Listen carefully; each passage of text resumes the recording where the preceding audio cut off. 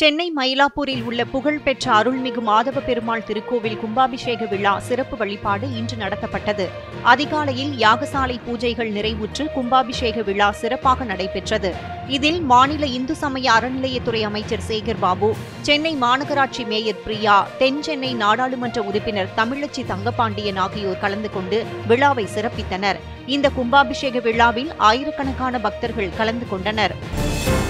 கோவை தெற்கு சட்டமன்ற உறுப்பினர் அலுவலகம் தர நிர்ணய சான்றிதழை பெற்றுள்ளதாக கோவை சட்டமன்ற உறுப்பினர் வானதி சீனிவாசன் தெரிவித்துள்ளார். தலைமைச் செயலகத்தில் செய்தியாளர்களை சந்தித்த அவர் எம்எல்ஏவாக தேர்ந்தெடுக்கப்படுபவர்கள் எப்போதும் மக்களுடன் தொடர்பில் இருந்து அவர்களுக்கு சிறந்த சேவை வழங்குவதன் அடிப்படையில் தர நிர்ணய சான்றிதழ் வழங்கப்படுவதாக கூறினார். அந்த வகையில் தங்களுடைய சட்டமன்ற தொகுதி அலுவலகம் மக்களுடன் நெருக்கமாக பணிபுரிந்து அவர்களது தேவைகளை நிறைவேற்றுவது தொடர்பான பல்வேறு நிலைகளில் பரிசோதிக்கப்பட்டு இந்த தர நிர்ணய சான்றிதழ் கோவை தெற்கு சட்டமன்ற உறுப்பினர் அலுவலகத்திற்கு வழங்கப்பட்டுள்ளதாக வானதி சீனிவாசன் தெரிவித்தார். தமிழ்நாடு காங்கிரஸ் கமிட்டியின் தலைவராக செல்வ பெருந்தகை இன்று பொறுப்பேற்றுக் கொண்டார். சென்னை சத்தியமூர்த்தி பவனில் அதற்கான நிகழ்ச்சி இன்று நடைபெற்றது. கடந்த பதினேழாம் தேதி தமிழ்நாடு காங்கிரஸ் கமிட்டியின் தலைவராக தேர்ந்தெடுக்கப்பட்ட அவர் இன்று தலைமை பொறுப்பை ஏற்றுக்கொண்டார். முன்னாள் தலைவர் கே எஸ் அழகிரி அவரிடம் பொறுப்புகளை ஒப்படைத்தார். இந்த நிகழ்ச்சியில் காங்கிரஸ் மூத்த தலைவர்கள் பலர் பங்கேற்றனர்.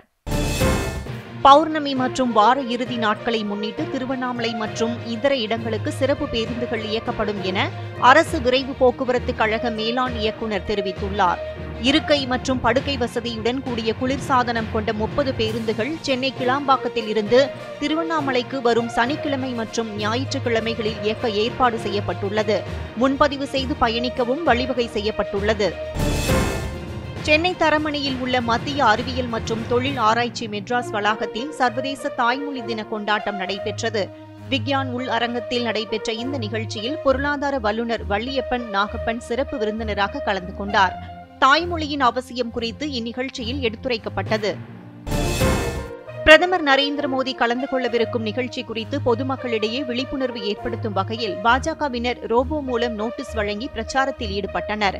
திருப்பூர் மாவட்டம் பல்லடம் மாதப்பூர் பகுதியில் வரும் இருபத்தி ஏழாம் தேதி நடைபெறவுள்ள என் மண் என் மக்கள் நிறைவு மாநாட்டில் பிரதமர் நரேந்திர மோடி கலந்து கொண்டு சிறப்புரையாற்றுகிறார். இந்த நிகழ்ச்சி குறித்து மக்களுக்கு விழிப்புணர்வு ஏற்படுத்தும் வகையில் பல்வேறு வகைகளில் பிரச்சாரம் நடைபெற்று வருகிறது. அதன் ஒரு பகுதியாக ரோபோ மூலம் நோட்டீஸ் வழங்கும் விழிப்புணர்வு நிகழ்ச்சி திருப்பூர் காமராஜர் சாலையில் நடைபெற்றது. தருமபுரி மாவட்டம் பாலக்கோடு வட்டம் பஞ்சப்பள்ளி கிராமத்தில் உள்ள சின்னாறு அணையில் இருந்து விவசாய பாசனத்திற்கு தண்ணீர் திறந்துவிட தமிழக அரசு உத்தரவிட்டுள்ளது. இந்த உத்தரவின் அடிப்படையில் பதினைந்து நாட்களுக்கு தண்ணீர் திறந்துவிடப்படும். பதினைந்து நாட்களுக்கு தண்ணீரை நிறுத்தியும் பிப்ரவரி இருபத்தி இரண்டாம் தேதி முதல் ஜூன் ஆறு வரை மொத்தம் நூற்றி ஐந்து நாட்களுக்கு தண்ணீர் திறந்துவிடப்பட உள்ளது நல்ல செய்தி தாமதமாகத்தான் வரும் என மக்கள் நீதி மய்யம் கட்சியின் தலைவர் கமலஹாசன் தெரிவித்துள்ளார். மக்கள் நீதி மய்யம் கட்சியின் ஏழாம் ஆண்டு தொடக்க விழா சென்னையில் இன்று நடைபெற்றது.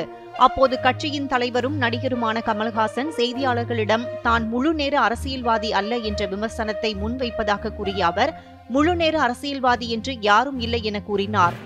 தொடர்ந்து மக்களவை தேர்தல் கூட்டணி குறித்து பேச்சுவார்த்தை நடத்தி வருவதாகவும் தேர்தல் கூட்டணி குறித்து விரைவில் அதிகாரப்பூர்வமாக அறிவிப்பதாகவும் தெரிவித்தார். பள்ளிக்கரணை சதுப்பு நிலத்தில் தனி நபர்களுக்கு பட்டாக்கள் வழங்கப்பட்டுள்ளது தொடர்பான புகார்களை விசாரிக்க சென்னை மாவட்ட ஆட்சியர் ரஷ்மி சித்தார்த் ஜெகடே தலைமையில் விசாரணை குழு அமைக்கப்பட்டுள்ளது.